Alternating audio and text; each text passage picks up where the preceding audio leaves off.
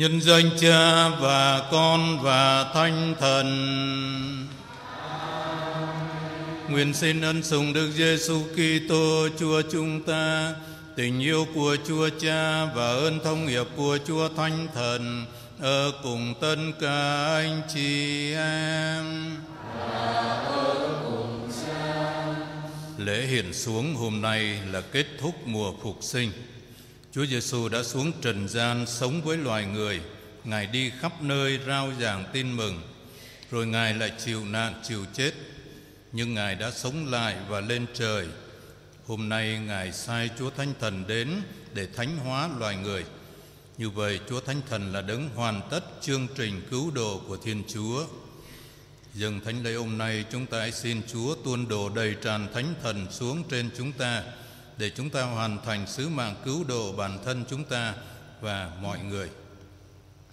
Dừng thánh lễ chúng thầy phí cầu nguyện cho các ân nhân của giáo xứ, dâng lời tạ ơn cầu xin ơn bình an, cầu cho các linh hồn gia tiên, các linh hồn mồ côi, linh hồn du xe, ba linh hồn do an, linh hồn Anna, Agatha, Maria Giuse, Giuse Agatha, Đa Minh, Maxalino, Phêrô Maria, lấy dỗ linh hồn Giuse, Rosa, dỗ hai năm linh hồn Đa Minh, tạ ơn Chúa kỷ niệm 7 năm và 54 năm hôn phối. Cầu nguyện cho nhóm Kinh Thánh cầu nguyện mừng bốn mạng hôm nay. Hiệp ý với nhóm lòng thương xót cầu cho các linh hồn với gia đình Đức Mẹ cầu cho các ân nhân và hội viên, hội mân côi cầu cho các hội viên và cầu cho các ân nhân của các em thiếu nhi. Tôi thu nhận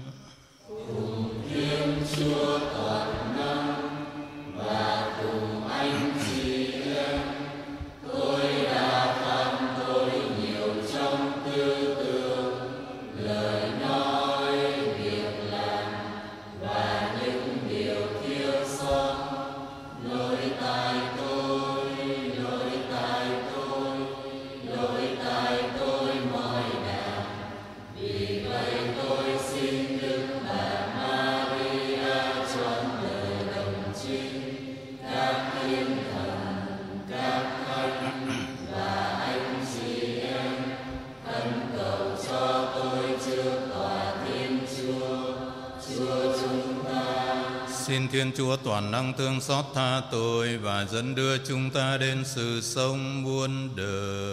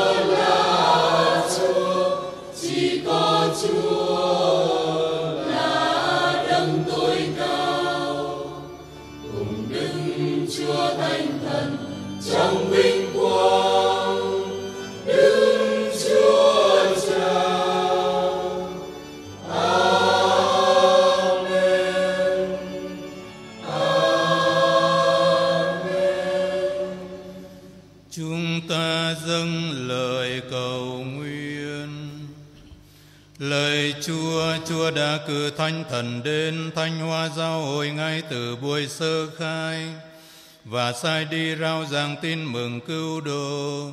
Hôm nay khi mừng lễ Chúa Thánh Thần hiền xuống, chúng con nài xin Chúa tiếp tục công trình Chúa đã thực hiện và tuôn đổ ơn Chúa Thánh Thần cho mọi tin hữu trên khắp cùng thế giới.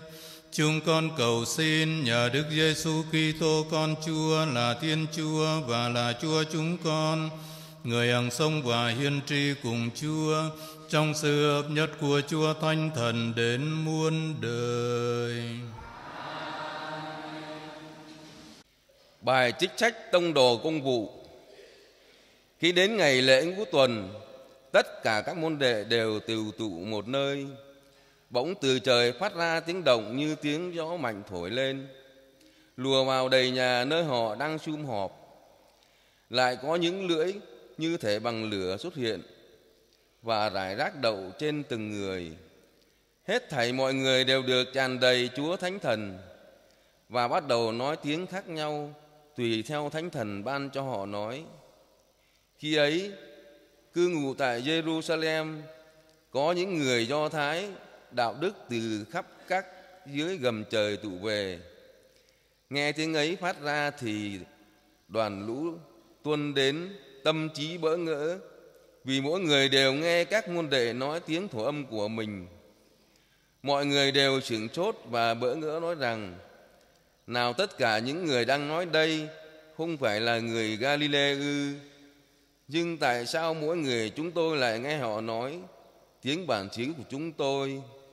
Chúng tôi là người Ba Thi, Medi, Elam, Mesopotamia, Judea, Cappadocia, Ponto, Tiểu Á, Pigia, Pamphylia, Ai Cập, Libya, cận Siene và người Roma cư ngụ ở đây là Do Thái và Tổng giáo là người Cetera Á Rập chúng tôi đều nghe họ nói tiếng của chúng tôi, mà ca tụng những kỳ công của Thiên Chúa, mọi người đều sửng sốt bỡ ngỡ nói với nhau rằng, thế ngày, thế này nghĩa là gì nhưng lại có người khác nhạo báng rằng, họ đầy rượu rồi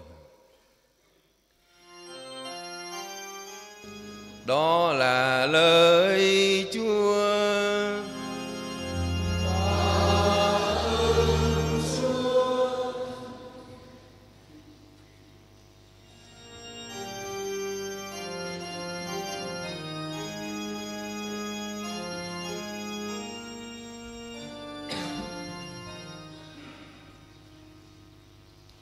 Lạy Chúa, xin sai thanh thần Chúa đến và đôi mắt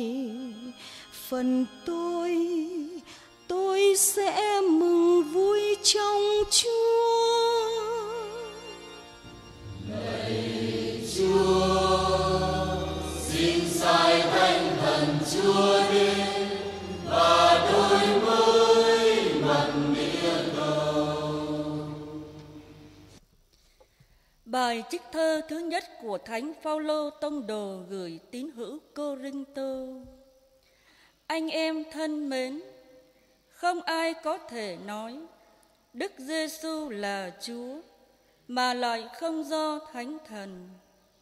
Vậy có nhiều thứ ân sủng, nhưng chỉ có một Thánh Thần.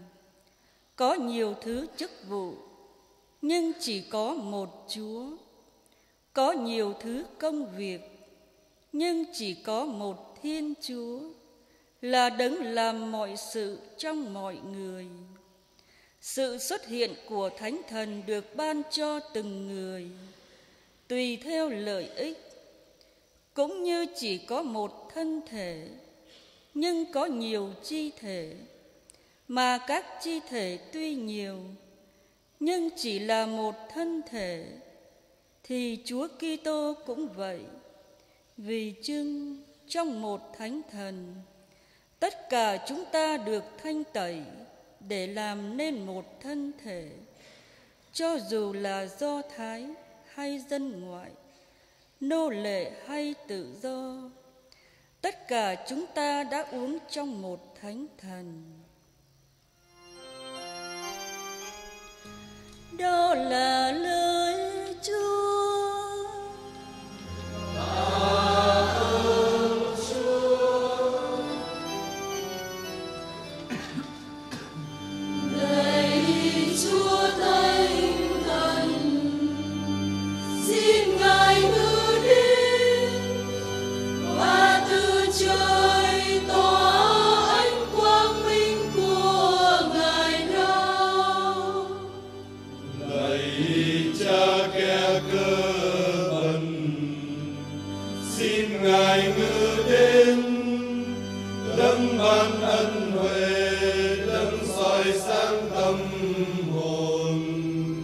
Xin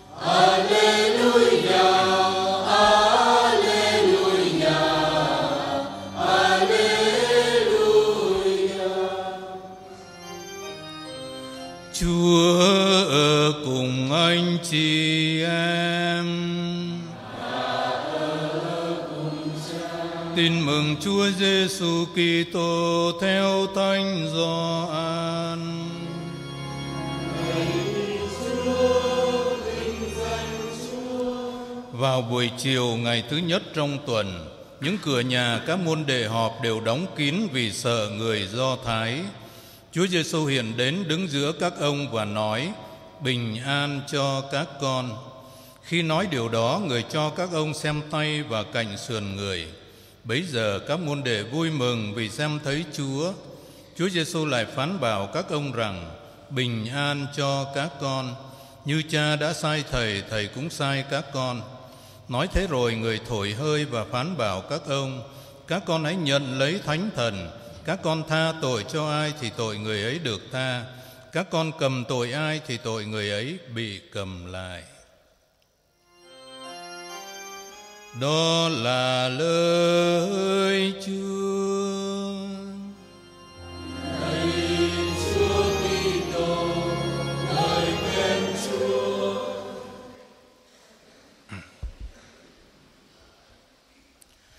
Trong cựu ước chúng ta đã biết nhân loại đã có một thời thất bại khi cùng nhau xây tháp Ba bèn Lý do đơn giản bởi vì ngôn ngữ bất đồng, nói không hiểu nhau. Cũng dễ hiểu thôi, bởi vì một khi tội lỗi đã nhập vào trần gian thì tất cả mọi ngôn ngữ trong thế giới của Thiên Chúa phải cuốn gói ra đi để nhường chỗ cho một thứ ngôn ngữ mới, ngôn ngữ của hận thù, của sâu xé, ngôn ngữ của ích kỷ, tham lam, bạo lực. Làm sao có thể xây được một tháp ba ben của tình huynh đệ hiệp nhất, của hữu nghị khoan dung, của yêu thương hòa giải, khi mà con người chỉ biết nói với nhau bằng thứ ngôn ngữ sự chết đó. Thế nhưng may cho con người chúng ta, con Thiên Chúa đã đến để dạy cho con người học biết ngôn ngữ của chính Ngài, ngôn ngữ của hiệp nhất, ngôn ngữ của yêu thương, của hòa giải. Các con hãy yêu thương nhau như Thầy đã yêu chúng con. Người ta cứ dấu này mà nhận biết chúng con là môn đệ của Thầy, là có con hãy yêu thương nhau. Không có tình yêu nào lớn hơn tình yêu của người thí mạng sống về người mình yêu. Trước cửa nhà các thánh tông đồ ngày hôm nay, sách công vụ tông đồ đã mô tả thật chính xác và sinh động về cuộc khai trương một công trình ba ben mới mà tất cả các công nhân trên công trường này sẽ nói và hiểu chung một ngôn ngữ, đó là ngôn ngữ tình yêu. Ngôn ngữ do chính Chúa Thánh Thần trao ban và dạy dỗ, ngôn ngữ của tình thương cứu độ, ngôn ngữ Giêsu thảm cảnh của một nhân loại bị phân tách và chia rẽ của tháp Ba Ben ngày xưa, giờ đây được Chúa Thánh Thần quy tụ về một mối, nói và hiểu cùng một thứ ngôn ngữ, ngôn ngữ tình yêu của con cái Thiên Chúa. Ai cũng có thể hiểu được. Tình yêu là một thứ ngôn ngữ mà ai nghe cũng hiểu. Tình yêu không chỉ được nói bằng lời, bằng tiếng, tình yêu còn được nói bằng thái độ, bằng cử chỉ, bằng việc làm và bằng cả một cuộc sống đông đầy tình bác ái huynh đệ. Một ánh mắt thông cảm, một cử chỉ thân thiện, một việc làm giúp đỡ, ngôn ngữ tình yêu dễ hiểu, dễ gần nhau. Ngôn ngữ này giúp cho con người hiểu được nhau và hiểu được chính Thiên Chúa, vì Thiên Chúa là tình yêu, cho nên ai yêu thương thì gặp được Thiên Chúa. Rất nhiều khi nhờ những hành động bác ái yêu thương mà những kẻ tội lỗi biết đường ăn năn trở về cùng Chúa. Người thời nay không còn tin vào những lý thuyết thuyết đẹp, những lời nói hay, những hứa hẹn xa vời thực tế. Những lý thuyết đẹp phải được kiểm nghiệm bằng những kết quả đẹp. Những lời nói hay chỉ có giá trị khi đi đôi với những việc làm tốt. Vì thế mà muốn làm chứng cho Chúa, người tín hữu phải có một đời sống đạo đức gương mẫu. Đời sống đạo đức gương mẫu không phải chỉ là siêng năng đọc kinh đi lễ, nhưng mà nhất là phải biết gương mẫu trong cách ăn nết ở. Nếu người công giáo thật sự sống tốt thì không cần rao giảng mọi người cũng tin. Đời sống công bình bác ái, khiêm nhường nhịn nhục, đoàn kết yêu thương có sức thuyết phục hơn tất cả mọi lời nói hay, lời nói đẹp. Trong đời sống gia đình cũng như trong sinh hoạt xã hội, đừng nói với nhau bằng thứ ngôn ngữ của hận thù, của hiềm khích. Đừng nói với nhau bằng ngôn ngữ của chia rẽ, của nghi kỵ, nhưng mà hãy nói với nhau bằng thứ ngôn ngữ của tình yêu, ngôn ngữ của Chúa Thánh Thần. Bởi vì ngôn ngữ của tình yêu chính là ngôn ngữ tạo được sự cảm thông và bất cứ ai cũng có thể hiểu được. Trong đời sống, con người chúng ta dùng ngôn ngữ tiếng mẹ đẻ cho nhu cầu thông tin liên lạc với nhau. Nhưng mà có một thứ ngôn ngữ ngay từ thuở sơ sinh ai cũng có. Từ những em bé chưa biết nói cũng hiểu được, cũng biết.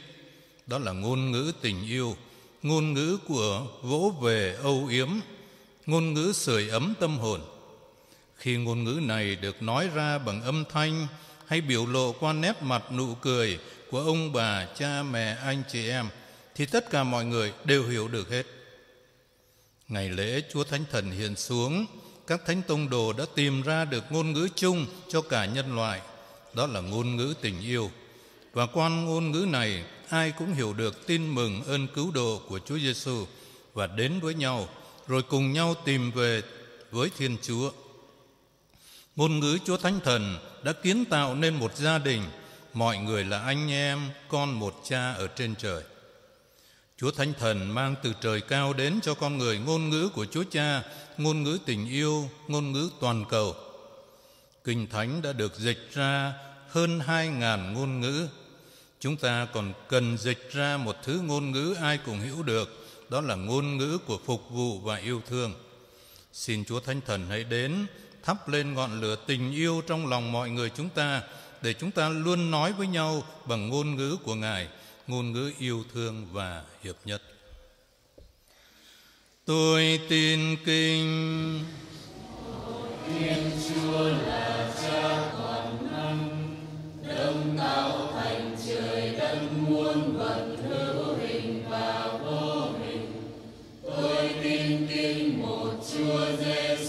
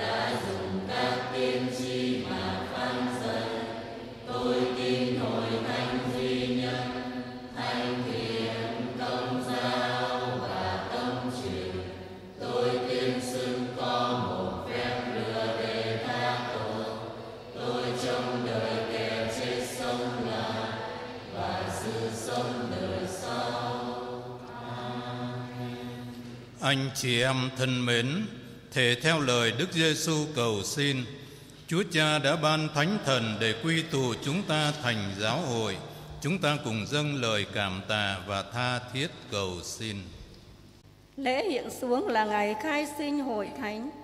Chúng ta hiệp lời cầu xin Chúa Cha ban Thánh Thần để soi sáng, hướng dẫn và nâng đỡ các vị mục tử trong việc điều khiển con thuyền hội thánh, vượt qua mọi phong ba bão táp ở trần gian. Chúng ta dâng lời cầu nguyện. Xin Chúa nhận lời chúng con. Nhiều nơi trên thế giới ngày nay vẫn còn đang sống trong cảnh chiến tranh loạn lạc. Chúng ta hiệp lời cầu xin Chúa Cha cử Thánh Thần đến đem yêu thương vào nơi oán thù, đem niềm vui cho người đau khổ, đem hòa bình cho những vùng còn khói lửa chiến tranh. Chúng ta dâng lời cầu nguyện. Xin Chúa nhận lời chúng con. Ngày hôm nay bạo lực và hận thù vẫn còn đang làm cho biết bao gia đình phải tan nát. Biết bao người phải lâm vào cảnh khốn khổ. Chúng ta hiệp lời cầu xin Chúa Cha ban Thánh Thần là nguồn tình yêu để đổi mới lòng trí con người trên khắp địa cầu. Chúng ta dâng lời cầu nguyện. Xin Chúa nhận lời chúng con. Lời Chúa Cha nhân hậu, không bao giờ chúng con có thể khám phá được hết những kỳ diệu của tình yêu Chúa. Ước gì Thánh Thần Chúa thâm nhập lòng trí chúng con và biên đối cuộc đời chúng con nên một lời ca tụng tình thương của Chúa. Chúng con cầu xin nhờ Đức Kitô Chúa chúng con. Amen.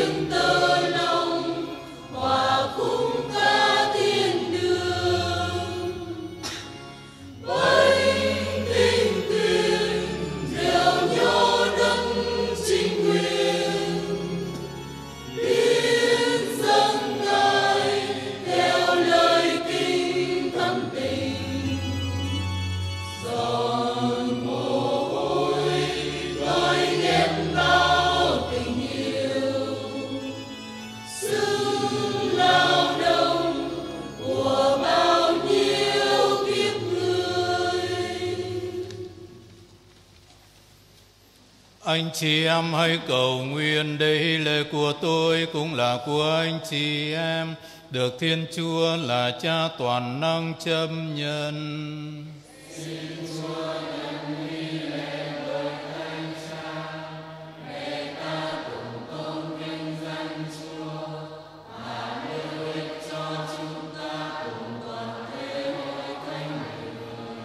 Lời Chúa, xin thực hiện lời hứa của Thánh Tử Giêsu Kitô, mà cử Thánh Thần đến giúp chúng con thấu hiểu mầu nhiệm hy lễ và hướng dẫn chúng con tới chân lý vẹn toàn. Chúng con cầu xin nhờ Đức Kitô, Chúa chúng con. Amen. Chúa ở cùng anh chị em. Nâng tâm hồn lên. Chúng con đang hướng về Chúa. Hãy ta ơn Chúa là Thiên Chúa chúng ta. Lời Cha Chi Thánh là Thiên Chúa toàn năng hằng hữu. Chúng con tạ ơn Cha mọi nơi mọi lúc, thần là chính đáng phải đạo và sinh ơn cứu độ cho chúng con. Nhờ Đức Kitô Chúa chúng con để hoàn thành mầu nhiệm vượt qua. Hôm nay Cha rồng ban Chúa Thánh Thần cho những người đã được Cha nhân làm nghĩa tử. Nhờ kết hợp với con một Cha, Chính trong ngày khai sinh hồi thánh, Chúa Thánh Thần đã làm cho hết thảy chư dân nhận biết Thiên Chúa và liên kết mọi ngôn ngữ khác biệt lại để họ tuyên xưng cùng một đức tin.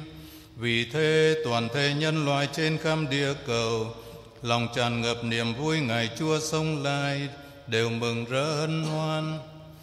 Đồng thời cả triều thần thiên quốc hát bài ca, chúc tùng cha vinh hiển và không ngừng tung hô rằng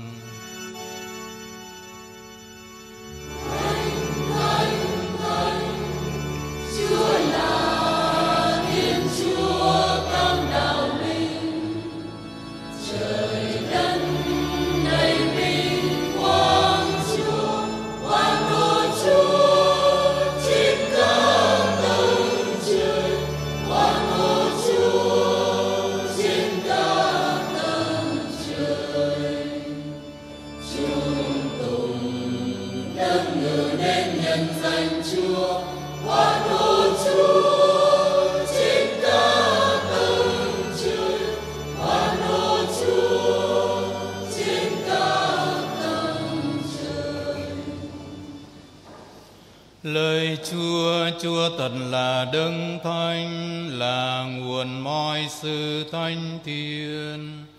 Vì thế chúng con nài xin Chúa dùng ơn thánh thần Chúa thanh hoa những của lễ này để trở nên cho chúng con mình và máu Đức Giêsu Kitô Chúa chúng con. Khi tự nguyện nộp mình chịu khổ hình, người cầm lấy bánh tạ ơn, bè ra và trao cho các môn đệ mà nói.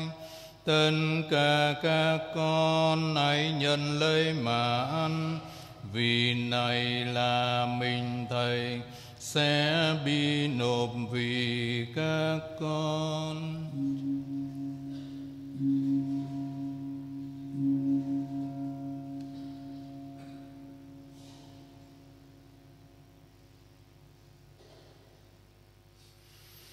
Cùng một thể thương ơi, sau bữa ăn tôi Người cầm lấy chén cùng ta ơn, Trao cho các môn đệ mà nói Tất cả các con hãy nhận lấy mà uống.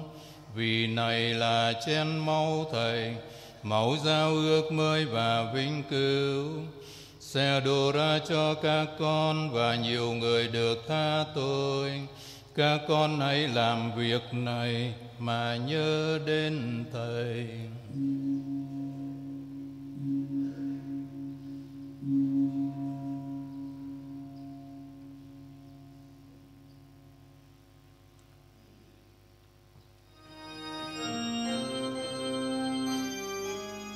Đây là mầu nhiệm đương tin.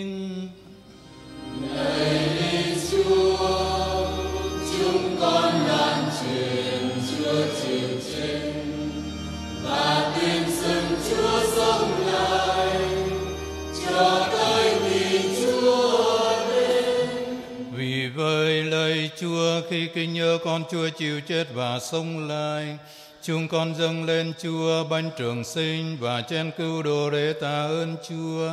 Vì Chúa đã thương cho chúng con, được xưng đáng đọc hầu cân trước tôn nhan và phung sư Chúa. Chúng con tha thiết nài xin Chúa cho chúng con khi thông phần mình và máu Đức Kitô được quy tụ nên một nhờ Chúa Thánh Thần. Lời Chúa xin nhớ đến hội thánh Chúa lan rộng khắp hoàn cầu để kiên toàn hội thánh trong đức mến. Cùng với Đức Giáo Hoàng Francisco, Đức Giám Mục An Tôn chúng con, Đức Giám Mục Phó Đa Minh và toàn thể hàng giáo sĩ. Xin Chúa cùng nhớ đến anh chị em chúng con đang an nghỉ trong niềm hy vọng sống lại và mọi người, đặc biệt các bậc tổ tiên, ông bà, cha mẹ và thân bằng quyên thuộc chúng con đã ly trần trong tình thương của Chúa. Xin cho hết thảy được vào hương ánh sáng tôn nhan Chúa. Chúng con nài xin Chúa thương xót tất cả chúng con, cho chúng con được đồng hưởng sự sống đời đời. Cùng với Đức Trinh Nữ Maria, Mẹ Thiên Chúa, Thánh Du Xe, bàn trăm năm Đức Trinh Nữ, các thánh tông đồ và toàn thể các thánh đã sống đẹp lòng Chúa qua mọi thời đại. Và cùng với các ngài, chúng con được ca ngợi và tôn vinh Chúa nhờ Đức Giêsu Kitô con Chúa.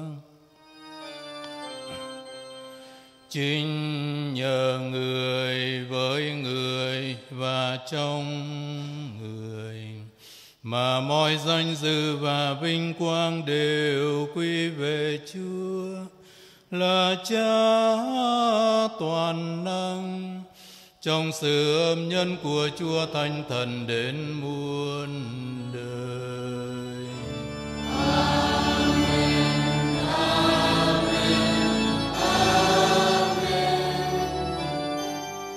Vâng lệnh Chúa cứu thế và theo thế thức người dạy, chúng ta dám nguyện rằng Lạy Cha chúng con ở trên trời, chúng con nguyện danh Cha cao xa.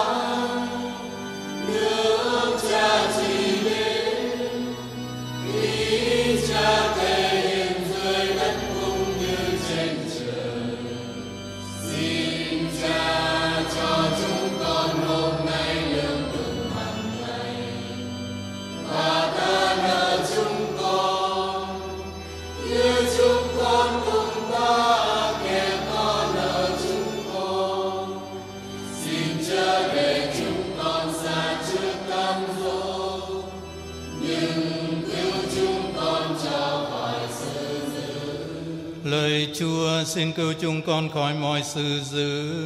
Xin đoái thương cho những ngày chúng con đang sống được bình an. Nhờ Chúa rộng lòng thương cứu giúp, chúng con sẽ luôn luôn thoát khỏi tội lỗi và được an toàn khỏi mọi biên loạn.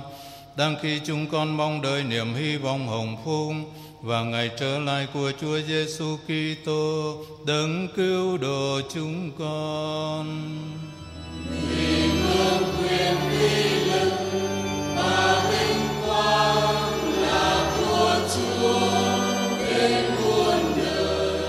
Lời Chúa Giêsu Kitô, Chúa đã nói với các tông đồ rằng: Thầy để lại bình an cho các con.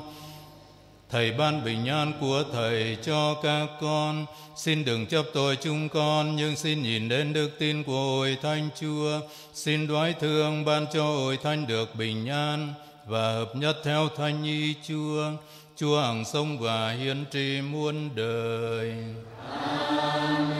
Bình an của Chúa hằng ở cùng anh chị em. Anh chị em hãy chúc bình an cho nhau.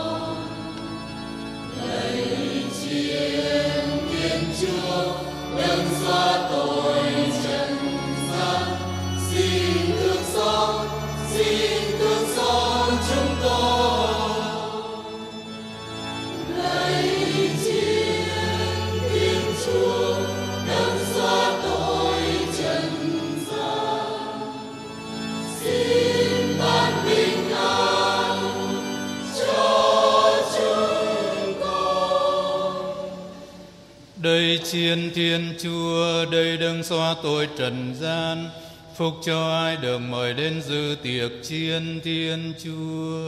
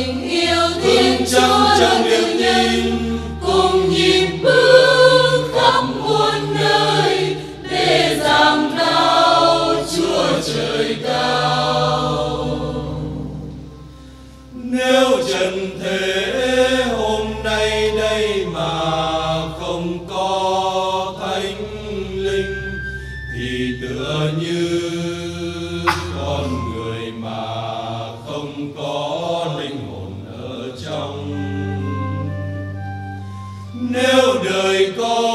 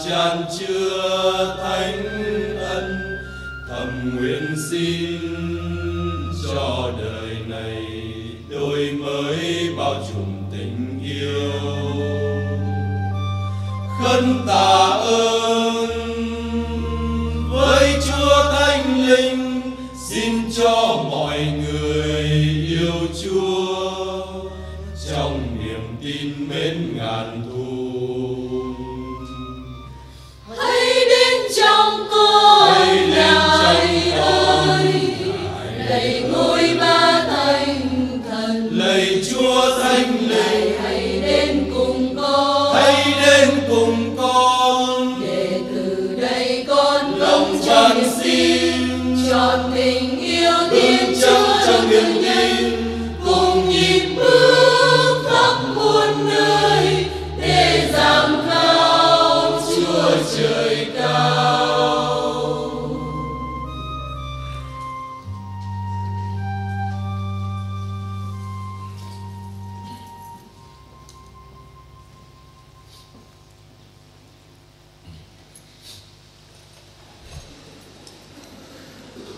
chúng ta dâng lời cầu nguyện Lời Chúa, Chúa đã rộng ban cho giáo hội những hồng ân cao cả là thần khí và bánh bới trời.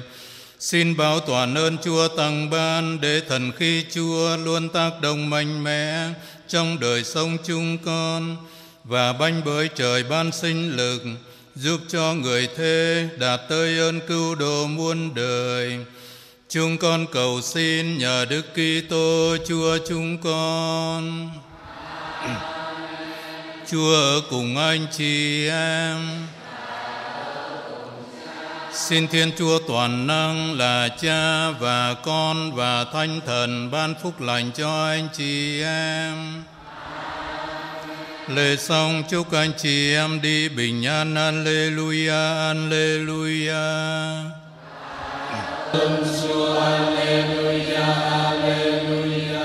Xin mời ra viếng Đại Từ Đạo.